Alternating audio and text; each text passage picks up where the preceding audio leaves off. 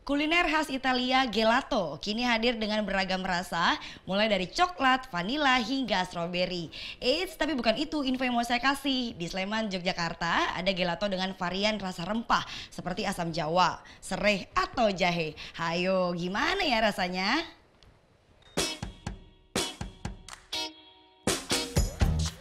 Gelato rasa coklat, vanila atau stroberi. Hmm, itu sih udah biasa bingit. Tapi kalau gelato rasa jahe, serai atau kayu manis, ini nih yang mau saya coba. Varian anti mainstream tersaji di Cafe Gelato Adimui Sleman, Yogyakarta.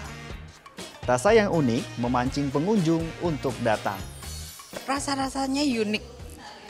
Ada asam jawa, ada es teler, ada piscok.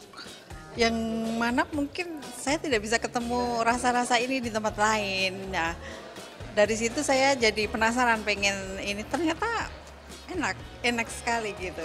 Uh, jadi di sini tuh bahannya mereka semua natural dan semua dari apa kayak sehat aja gitu. Jadi kayak lebih enak dan lebih enak juga sih. Jadi kayak kalau di tempat lain saya suka suka gatel gitu lehernya. Jadi kalau kalau di sini kayak lebih lebih enak aja lebih natural aja gitu Tak hanya bahan yang unik, buah yang digunakan pun organik. Terus berinovasi, hingga kini ada 39 varian rasa gelato yang ditawarkan. Beberapa rasa-rasa kita yang uh, sekarang cukup recommended adalah kita ada alpukat.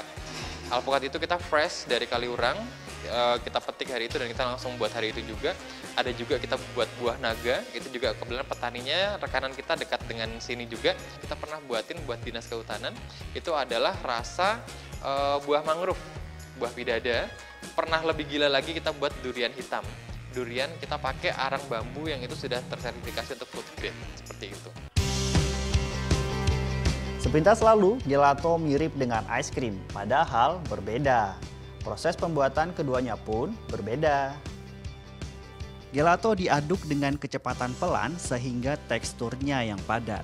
Sementara itu, es krim diaduk dengan kecepatan tinggi sehingga muncul busa dari krim yang diaduk.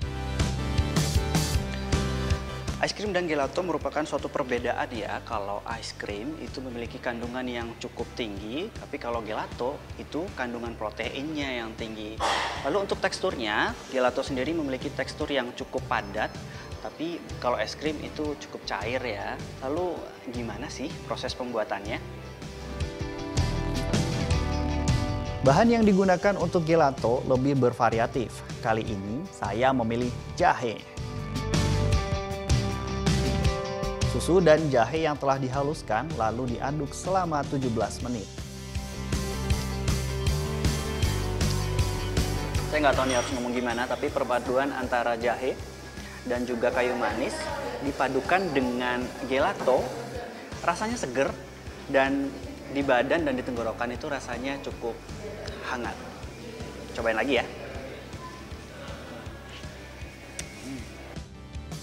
Buka setiap hari, harga satu cup gelato dibanderol mulai dari Rp20.000 hingga Rp40.000. Fikih Muhammad melaporkan untuk NET.